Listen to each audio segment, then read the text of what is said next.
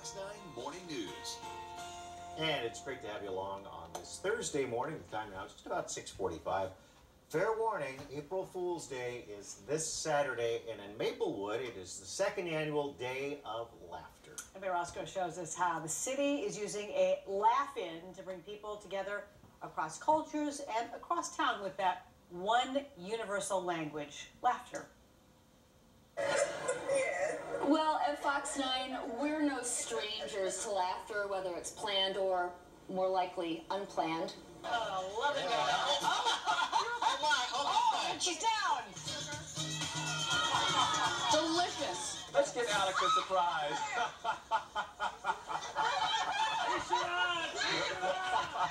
Anecdotally, we know it feels good to laugh. Scientifically, we know it's good for you to laugh, but here in Maplewood, they're making it official. This is Mayor Nora Slawik.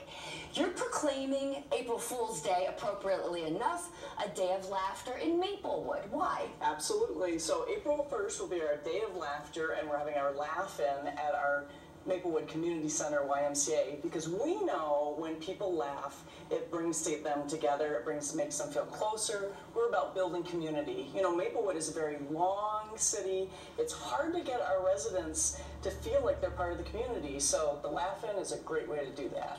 Well, of course, a portable plug-in laughter museum would have a fun house near on the side. I'm joined by Shari Aronson from Z Puppets Rosenschnoz. Your schnoz is rosened, indeed. And so tell me about a laughter museum. I don't think I've ever seen one before. Yeah, well, it's pretty unique. Uh, it, we've collected laughter from all over Maplewood, from people of all ages, from all over the city. And uh, we display it in these pop-up museums all around the city. Um, so people also put their face in a funny face gallery, and then they get to meet uh, the other people of Maplewood and see that yeah, laughter is a universal.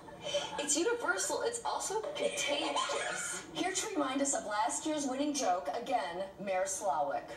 Well, we had a great joke submitted by a young man, and it's what chews trees and sings? Mm, got me. Justin Beaver. Get it? Pretty yeah, that's, that's not too bad. I might use that one. That's a good one. The laugh-in, you can submit your own joke, try to win a prize. Mine always start with people walking into a bar. It goes left from there. So let's just go ahead and leave it with Ricardo Bosques. Does this work? yeah, so at the Laugh-In event, there will be two tables set up. One for the Maplewood City Council, in which kids can come up and submit a joke for them and meet actual council members. And then another one for the police department. And we're really encouraging kids to come up and submit jokes to both if they want to, to meet members from the community on both areas. And there's no such thing as a bad joke, so please come up and even, do it. Even if it's a donut joke for the Maplewood Police Police Department? Yeah, you'd be surprised. They love that. he story. But I can't hear you. I've got a banana in my ear. But however you celebrate April Fool's Day, whether it's with props, the Laughter Museum, or the oldest joke in the book, have fun. It's good for you. Back to you. The jokes just keep coming. That's good stuff. Well, tomorrow, MAA checks out the latest and greatest and also the latest.